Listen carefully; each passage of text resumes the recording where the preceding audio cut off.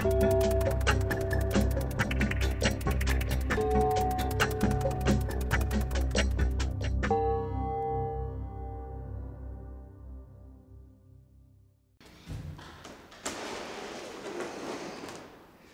from there, from there, from there, around the masking tape. Mm-hmm. The outer circles, the two outer circles are going to be white. Right. So this, it's just the inner circle.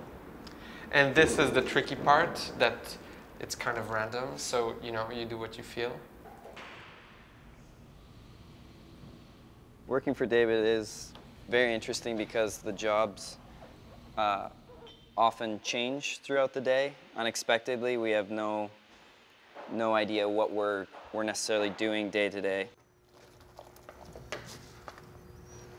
Do you need some more left ears, David? I noticed that there's like a lot more right ears than there are left ears for Yeah. some reason. I need some more. Okay.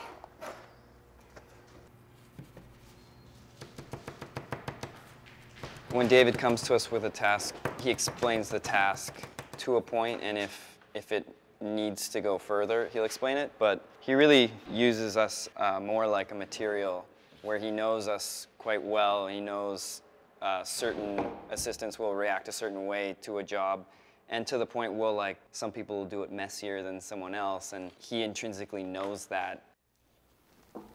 Because even when i would come in here and back in these holes, I'm still gonna get that gap no matter what.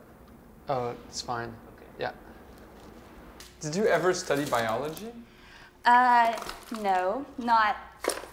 Well. Art was like your main focus? Yeah. Yeah.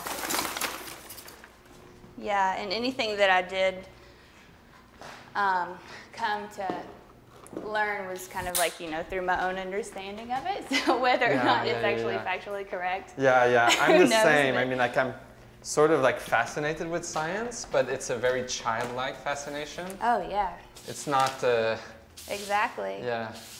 And I think that's one of the reasons why I became so interested in, in working like with taxidermy and stuff, because you know, like the idea of, of playing with dead animals, you know, that's something that like a, a kid, a small kid would do, you know. Yeah. Well, live animals. Oh yeah, yeah, yeah, yeah. Those two, I guess.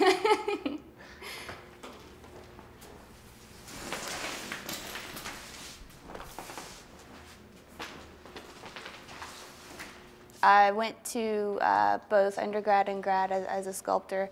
I started really getting into like a lot of animal science and taxidermy, so I was always in tune with the way that David works and the things that he's interested in. And then when I came uh, to work here in the studio, I felt that even stronger. His work inspires his work.